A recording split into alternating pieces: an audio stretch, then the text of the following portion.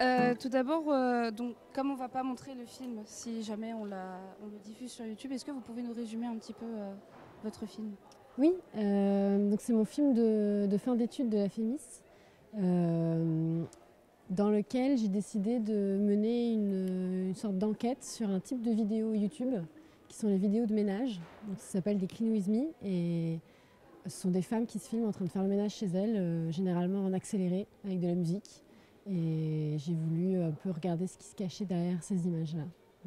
Comment vous est venue euh, l'idée de faire le film euh, Est-ce que vous avez, enfin, comment vous avez eu l'idée d'exploiter des vidéos YouTube pour ce film? En fait, je devais, donc je devais réaliser un film pour mon film de fin d'études où je devais utiliser des images non tournées par moi. C'était une contrainte que j'avais, donc je, tout ou en partie. Et moi, ça m'intéressait beaucoup comme, euh, comme contrainte. Et je me suis- en fait, en parallèle de ça, j'avais une grande activité sur YouTube et je me suis dit que je pouvais combiner euh, ces deux, ces deux choses-là et, et, et du coup exploiter ce, bah, cette passion secrète que j'avais pour les vidéos de ménage euh, sur YouTube. Et ça vous a pris combien de temps? Euh, alors j'ai pas travaillé en continu dessus parce que donc en dernière année à la FEMIS, on- je suis monteuse et les monteurs euh, montent les films des autres en même temps, qui font leurs films de fin d'études. Donc j'ai dû m'interrompre euh, pour des longues périodes souvent. Mais en gros, j'ai eu euh, l'idée vers septembre 2018 et j'ai fini le film en mai 2019. Ouais, Mais je pense que si j'avais été à plein temps dessus, en un mois ou deux, deux mois, ça aurait pu être fini. Euh, Est-ce que vous ciblez un public particulier avec ce film, sachant que YouTube, on cible plutôt les jeunes en général? Est-ce que vous, c'est votre cas? Bah alors euh, non, je ne cible pas un public en particulier, mais c'est vrai que c'était une question parce que, en plus à la FEMIS, euh, il y a quand même, les enseignants sont quand même assez âgés des fois, et, et je, je voulais que tout le monde puisse comprendre quand même de quoi il s'agissait, sans avoir à trop l'expliquer. Je me suis vraiment posé la question quand je faisais le film, euh, comment faire pour que tout le monde comprenne euh, ce que sont ces vidéos, qui les poste, parce qu'il y a des gens qui connaissent pas forcément bien YouTube non plus, euh, Instagram. Donc j'aimerais que tout le monde comprenne. Après c'est vrai que ma grand-mère a vu le film, elle n'a pas tout compris, qui étaient ces femmes, etc. Donc je pense qu'effectivement ça, parle plus à des gens plutôt jeunes. Euh, Si vous aviez un message à faire passer, ce serait lequel? Euh, bah, Il y, a plusieurs, euh, il y a plusieurs niveaux. Je pense que bah, justement par rapport à un public plus jeune, je trouve que c'est important de réfléchir à ce qu'on regarde sur YouTube et à pas euh, prendre les images, les images comme ça sans, sans se demander ce qui se cache derrière. Parce que bah, vous êtes sans doute au courant que sur les réseaux sociaux, déjà, l'apparence joue beaucoup, mais que ça cache en fait euh, la, vraie vie des gens.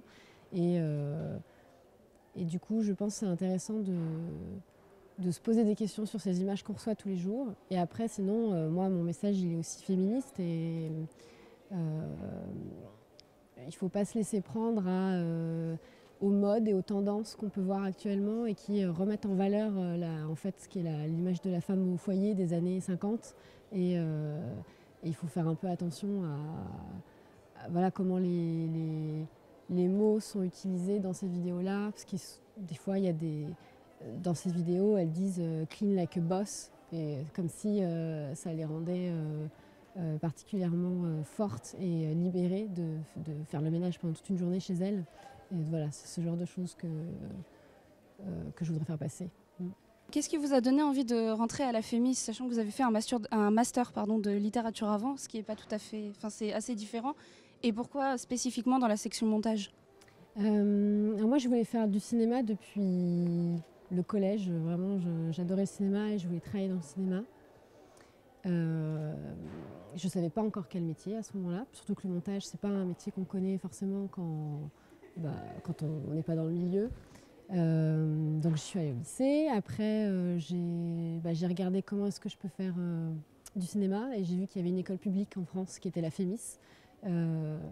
Et, et donc j'ai décidé que j'allais passer cette école-là, sauf que c'est bac plus 2, la FEMIS. Donc j'ai fait une classe préparatoire littéraire, parce que j'aimais beaucoup les lettres. Et en fait, j'ai été reçue à un concours après ça, donc j'ai continué les lettres. Et une fois que j'ai fini mon école, j'ai passé la FEMIS et je suis entrée à la FEMIS. Mais c'était vraiment revenir à mes, intentions d'origine. Et le montage, je me suis vraiment posé la question au moment de passer le concours, parce que la FEMIS, euh, c'est un concours, euh, il faut choisir quel métier on veut faire pour y entrer. Et euh, donc il y a réalisation, scénario, montage, image, etc. Et moi j'hésitais un peu entre scénario et montage. vu que j'avais une formation littéraire, le scénario ça semblait un peu plus logique, sauf qu'en fait j'aimais beaucoup l'idée de ne pas avoir à tout construire moi-même et que la matière soit déjà là et que j'ai juste à travailler la matière. Et ce qui est le cas en montage, parce que les gens nous ramènent euh, bah, toutes les images qui sont tournées et puis il faut se débrouiller avec ça et réussir à, faire que ça fonctionne, à réinventer des choses, etc. Mais j'aimais beaucoup cette idée de travailler avec une matière déjà là. Et ce qui fait aussi, explique aussi peut-être pourquoi j'ai fait un film avec que des archives, c'est parce que ça rejoint ce, j'aime bien le fait que les images soient déjà là et que c'est à moi de les ordonner et de construire un sens avec tout ça. Et euh, vous auriez d'autres projets euh, comme ça, avec le même style de, de film euh, plus tard? Oui, j'ai vraiment aimé faire ce film et j'ai envie d'en faire d'autres sur d'autres types de vidéos YouTube, parce qu'il y en a beaucoup, donc, surtout donc, qui concernent les femmes, c'est ce qui m'intéresse le plus. Et là, je suis en train de réfléchir à une mini-série, ce serait, je pense, trois épisodes qui parleraient de ces mêmes thématiques, des femmes qui se filment elles-mêmes et qui qui, dans leurs images, trahissent euh, des sortes de, de, pression de la société et qui, voilà, qu'elles sont prises dans leur propre jeu et, et qu'elles sont enfermées dans des, dans des rôles qui. Bah, donc il faut que tout le monde se libère. Vous allez faire euh, quelque chose autour de la Ligue du LOL? Parce que l'année dernière c'était quand même drôlement intéressant justement parce qu'il y avait des youtubeuses euh, euh, dont on s'est aperçu qu'elles avaient été attaquées euh, mm. euh, par, par, cette ligue du LOL. Bah, ce serait intéressant, oui. surtout que les, globalement, les, sections commentaires des vidéos YouTube sont très très intéressantes parce que c'est très violent en fait ce qui s'y dit. mais c'est un sujet qui m'intéresse, donc peut-être que c'est vrai que n'y avais pas en fait pensé comme ça, Je n'avais pas lié les deux, mais je pense qu'il y a vraiment quelque chose à faire sur ça, sur bah, rien que sur les insultes que se prennent les femmes sur les réseaux sociaux aussi. Euh, ouais, ouais, ce serait intéressant. il y a eu des youtubeuses justement qui n'étaient pas des youtubeuses mm. beauté mm. Euh, ou euh, ménage, mm. euh, qui faisaient des choses pour hommes, scientifiques, etc. Oui, qui ont été vraiment agressées par cette Oui, et puis les, même les commentatrices sportives s'en prennent aussi plein la figure. et et des, oui, et des journalistes. Oui, oui, c'est ça, les, les, femmes en général. Et, effectivement, en plus, je pense que ce serait un bon moyen de graver ça dans le marbre parce que euh, des fois, les commentaires disparaissent. Les, voilà. Donc, euh, moi, au moins, je peux enregistrer sur mon écran, prendre des captures d'écran, etc. et construire une sorte de dossier. Euh, Sachant qu'elles-mêmes, elles, en ont gardé. Hein. Oui, oui, oui, bien sûr. Oui, oui, oui. Et puis, oui, me mettre en, réseau avec elles, ouais, ce serait très intéressant le récit euh, informatique n'est pas du tout coupé. Comment ça s'est passé pour toi au montage? euh, Alors, euh, c'est une bonne question.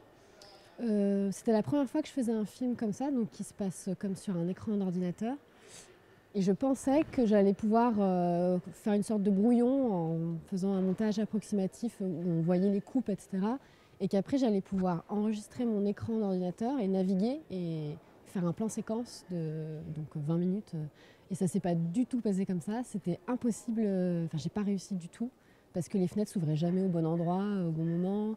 Euh, et puis tout simplement parce que des fois, en fait, il fallait euh, retoucher. il fallait passer plus de temps sur certaines images parce que les gens n'avaient pas le temps de comprendre, etc.